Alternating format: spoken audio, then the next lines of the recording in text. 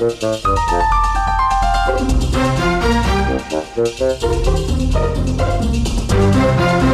No estamos convencidos de que lo que está sucediendo entre Rusia y Ucrania vaya a traer consigo una corrección masiva importante. A Putin no le interesa algo que le dañe económicamente y la bolsa rusa ya le ha mandado una señal de advertencia. Esto es lo que explican hoy los analistas de Pension Partners. Dicen estos expertos que afirmar esto no quita importancia al problema ni tampoco se descarta que vaya a ser un cisne negro. Sin embargo, dicen que ellos hablan de una cuestión de incentivos. A Rusia podría interesarle una prima de riesgo en los precios del crudo, pero unas sanciones económicas derivadas de un conflicto serían extremadamente perjudiciales para el país. Por ello, estos expertos concluyen la tendencia general de las bolsas ahora mismo se mantiene intacta. Opinan, no obstante, que su situación a una reversión es vulnerable y por eso nos dicen si está ya en conflicto, quizá lo más interesante sería ir a deuda estadounidense, a yen o a oro, y si no lo hace, los más beneficiados, explican, serían los mercados emergentes y por su momento la renta variable de Estados Unidos. Si miramos ahora la estricta actualidad de los mercados, vemos que la retirada de las tropas que había en Ucrania de Rusia ha conseguido que se calmen un poco los ánimos